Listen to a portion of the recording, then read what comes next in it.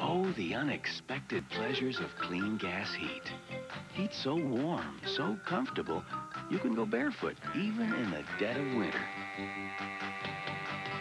We call this barefoot comfort. You'll call it bliss. For home heating, for cooking, hot water, or drying, choose gas, America's best energy value.